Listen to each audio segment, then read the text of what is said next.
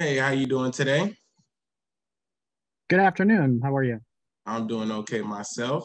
Uh, can you introduce yourself to us and what you do and what company you work for?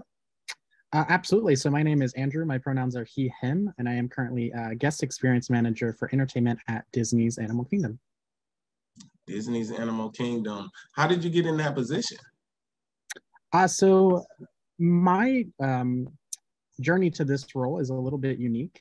Um, so I actually started uh, my my time in entertainment working for Carnival Cruise Line um, as an entertainment host. Um, I worked my way up to an assistant cruise director, uh, and after that, I worked for a resort group down in uh, St. Martin.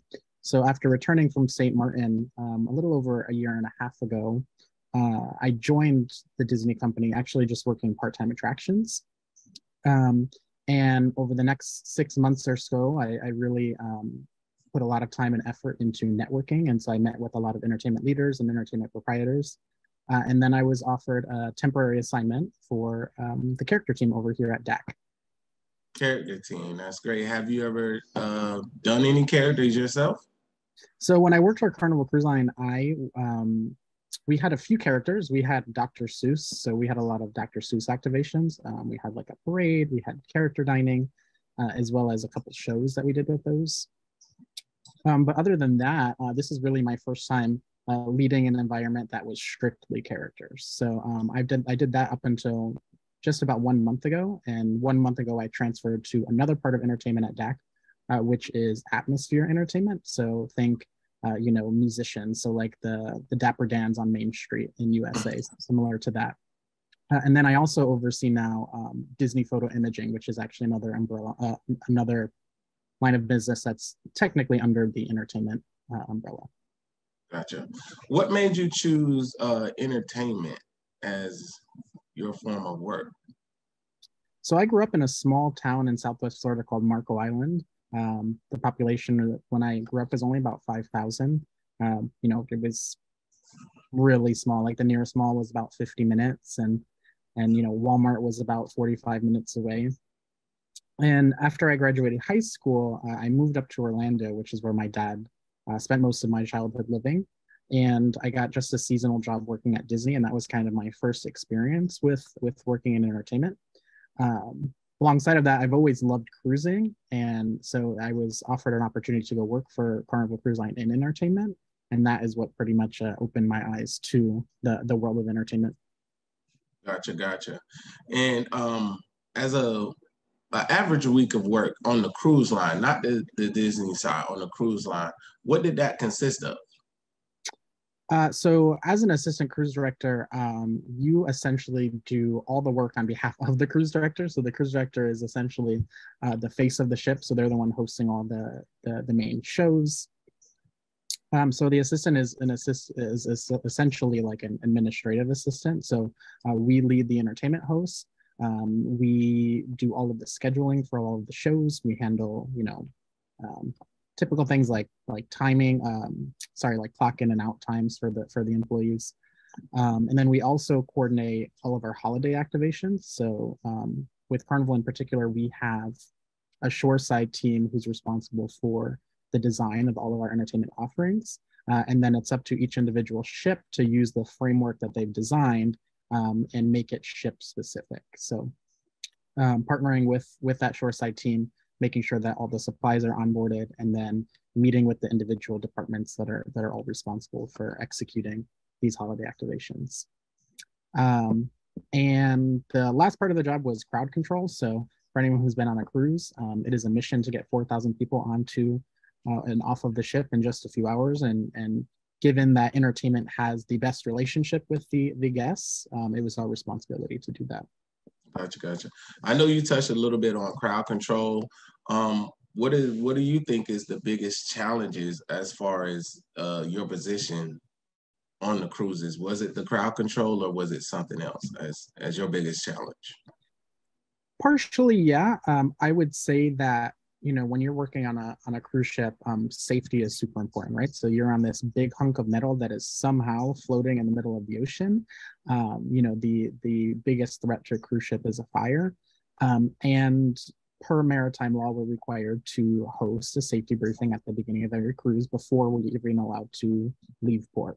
And so, um, thinking of it through the perspective of a guest, um, you're getting on a ship, you're, you're going on a vacation, you've saved up all this money, you're so excited. And the first thing that we want you to do is essentially like sit and listen to a class for 45 minutes. So stop all the fun, no eating, no drinking, just go and stand in the heat um, and listen to us talk about safety.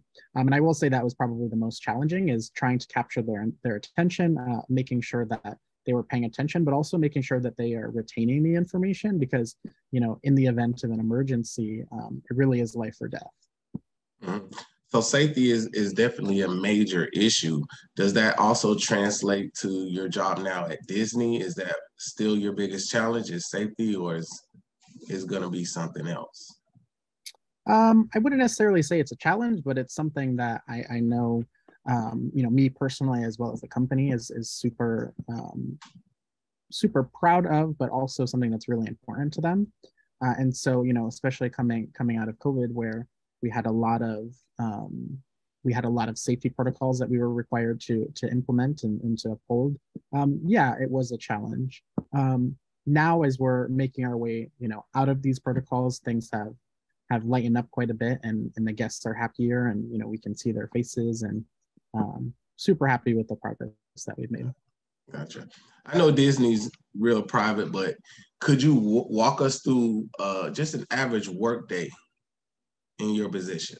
Yeah, so you know, I'd say as a guest experience manager, um, my my biggest responsibility is um, maintaining the show, so making sure that um, you know all of our offerings are up to Disney standards. Um, and then there is that safety piece as well, so making sure that um, you know we're we're creating a safe environment for our employees and their guests.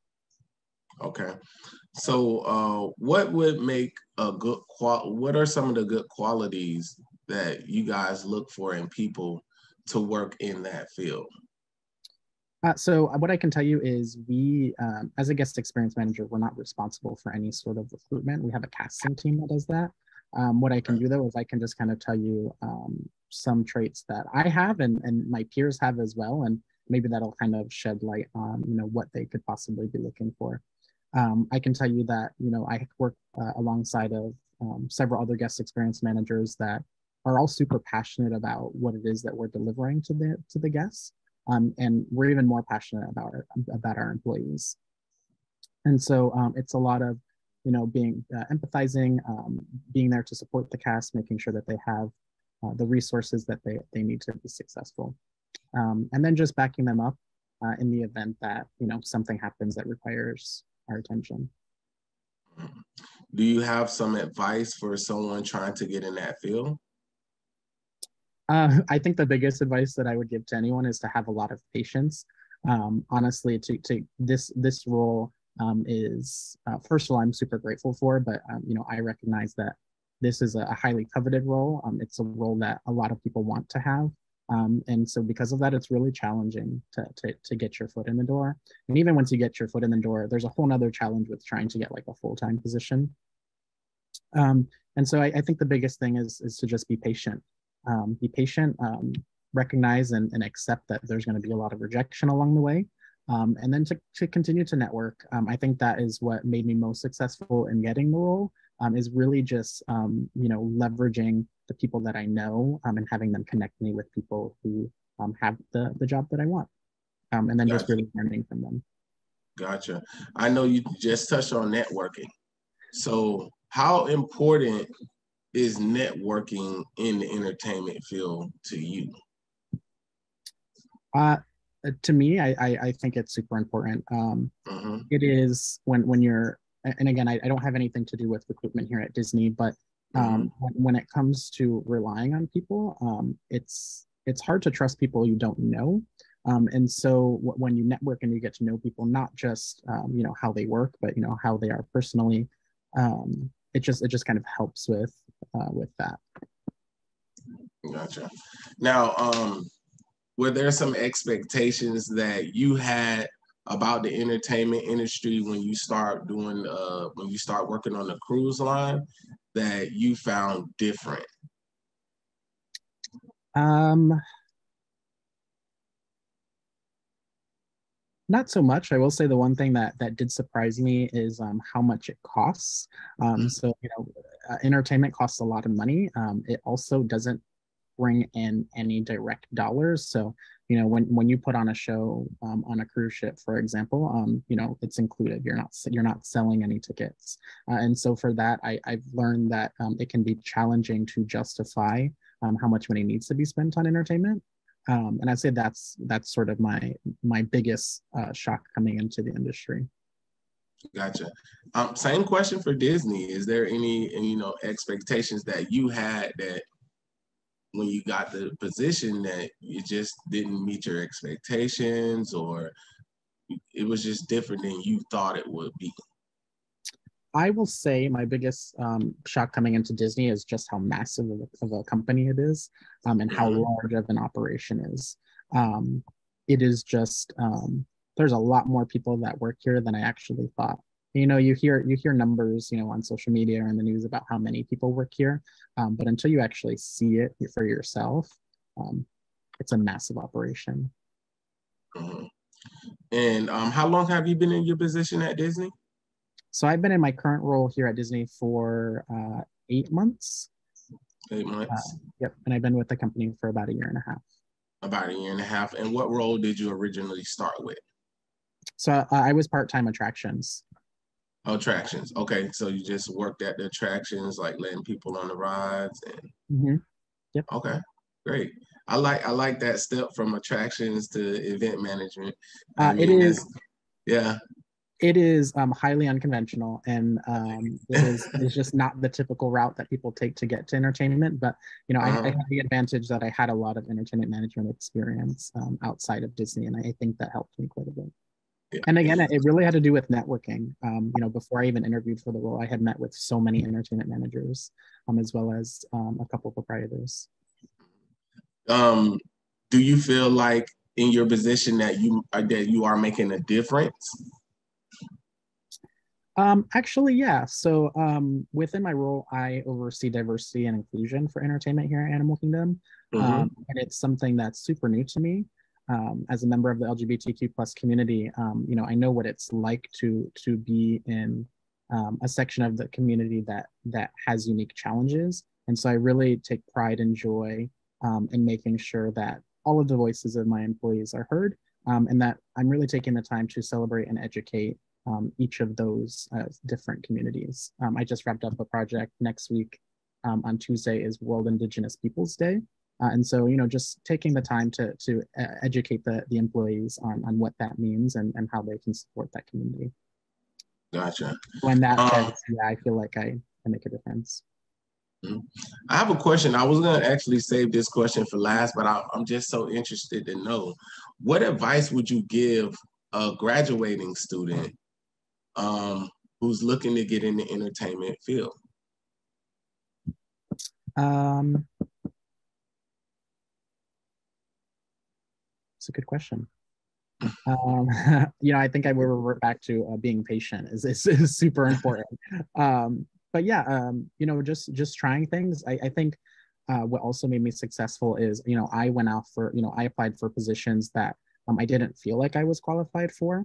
Um, for example, when I went to work down in St. Martin, um, I hadn't held any formal entertainment like manager roles. Um, and I just applied for it and I interviewed and they flew me down to the island and I, I spent a few days in the hotel and, and I ended up getting it.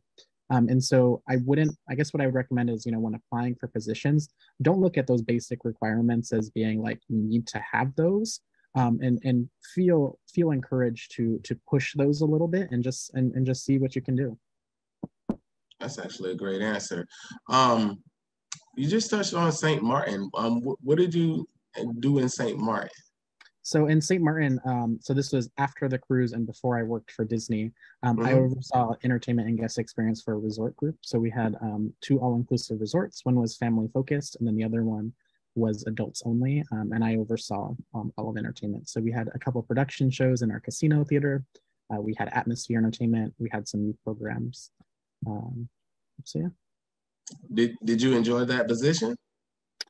It was a lot of fun. Yeah, it was my first time um, experiencing working with a budget, so um, I got to spend all of their money, uh, and that mm-hmm. was that was a lot of fun. Mm-hmm. And so you, you enjoyed your position. What made you choose to leave that job to transfer to Disney? At that point, I had already spent about three years um, living away from Orlando and away from my family.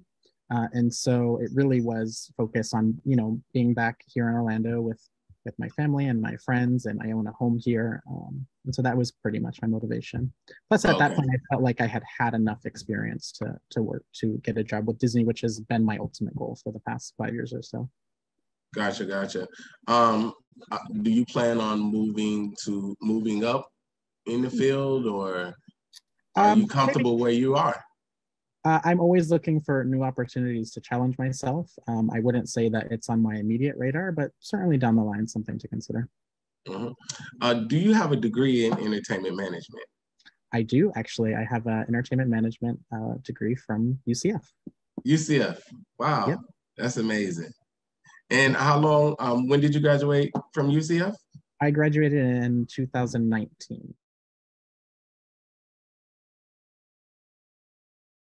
Hi, Andrew. Sorry Hi. for that mistake. No problem. Something definitely happened there. I was just like, oh no. Okay. Sorry about that. We need about five more minutes. We're like in the last four minutes. Yeah. no problem. It was going real good. Don't worry. Like everything is, is, going very well. We lost the field a little bit. But um, um but what what I can I can just finish up real quick. Um, do apologize about that again. Um, my biggest my my biggest uh fear about going into the entertainment industry is that I'm gonna be stuck in the position. Um, I know you said that you know networking is a big thing in the entertainment industry. How do you know who to network with? Um, so here's a couple things that I've done. Um, anytime I read, so first of all, it's good to have a connection, right? Uh, the good thing for both of you is now both of you have a connection, which is me. Um, mm-hmm. And what I do is I typically find that one person, and once I find that person, I ask them to connect me with other people. So, for example, um, next week I'm going to meet with a proprietor over at Disney Springs, uh, over their entertainment over there. Um, and at the end of the conversation, you know, I go into these asking about their history, asking about you know their their story, um, you know, some words of advice. And then at the end of my conversation, I always say, um, who else can I meet with to learn more about this role? Um, and what that does is it kind of opens a door to meeting other people. Um, and, you know, typically uh, each conversation, you'll just get one other person that they'll, that they're willing to connect you with. Um, but sometimes, you know, I've, I've been introduced to three people. Uh, and when you have that next person, um, you meet them, you have the conversation, and you do the same thing at the end and it's it, you know you end the conversation with saying who else can can you introduce me to? Um, mm. and if you do that then you will you will always have a never ending trail of, of people to network with and that's kind of how you expand your bubble. Mm. is that somewhat your like your elevator pitch? I know we learned that a lot in school about your elevator pitch. Is that somewhat your elevator pitch? Um, is when you're hey can you network work me with someone else or can you link me up with someone else? Is so I will I will say that my conversations are always um, from from a from a a, a place of um, just insight and information. So you know when I reach out to someone, it's very short and sweet. It's hi, I'm Andrew. Um, this is my position. Um, so and so intro, you know, recommended I reach out to you. Uh, do you have time to to meet? Um, once once you meet with them, it's it's really just finding out about them. So you know, here at Disney, I, I start by saying, uh, you know, tell me your Disney story you know, I might ask a couple follow-up questions like, you know, what is your favorite role? What was your least favorite role? You know, do you have any advice for someone in my position? Uh, and then, you know, at the end, just just swooping in and saying, well, who else can I meet that that might be able to help me on my journey? Gotcha, gotcha. I don't do it. I don't necessarily focus a conversation of, you know, who can you introduce me to? It's more of how do I get to know this person, and then just throwing it in at the end. Mm-hmm. What is also, your dream? What? It, oh, go ahead. I was going to say I also like to throw in um, some sort of material. So I always ask for a recommendation on like a book or a podcast. Um, and what that allows me to do it is, is it allows me to follow back up with that person. Um, and so, you know, I'll recommend a podcast. They'll give me a podcast. Um, maybe if, about a month or two later, I'll follow back up and say, Hey, I listened to your podcast. These are my thoughts. And again, what that does is it just kind of like keeps you fresh in their mind. Um, and I actually have a whole calendar, like a networking calendar of, um, you know, based off of, you know, the framework I just told you, um, you know, that remind me to follow up with this person. Um, and it just, it's, it's filled with, with those types of, those types of things. All right, wonderful. Now I don't have that. I don't have too much time, but I do have two questions that I need. I need answered. Um, sure. Uh, real quick, what is your Disney story? Um, so I actually started with Disney um, back in 2016 for the first time. I was just working seasonal um, operations for the show Fantasmic. Um, did that for about a year. Went and did my other stuff, and then came back to attractions again um, at the beginning of the summer of last year what is your dream job? Um, I, I, I want to say that this is this is my dream job. Um, you know, working as a guest experience manager in entertainment. Um, specifically under that umbrella, I think it'd be cool to come full circle and work as a stage manager for Fantasmic. Um, so that's kind of like my long term goal for for now is you know how can I get back to that show, but on the entertainment side of things. Gotcha. Well, I want to thank you so much for your time today. Even with that interruption, you was actually you were actually real great today. And um, yeah, yeah thank you very much. You're so welcome. glad All I right. Bye. Have a good day.